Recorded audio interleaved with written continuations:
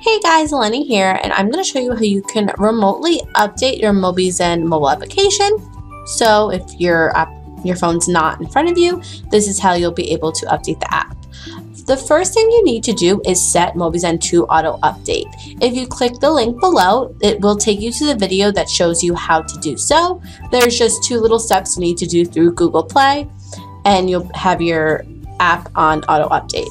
So if your app is on auto update, you're going to go on a computer like I am to the Google Play Store. It's right here. And you're going to go to My Apps. From there, you're going to click on here if you have multiple devices. See, I have a bunch to choose from. And I'm going to go to this.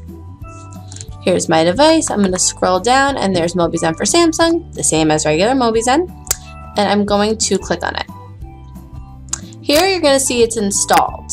If the app needs to be updated though, Google Play for some reason won't tell you update, but you're going to click on installed and you're going to click install. And it'll be installed on your device soon, which means it will update and then you'll be able to use Mobizen again. If you have any questions, please comment below. Thanks for watching.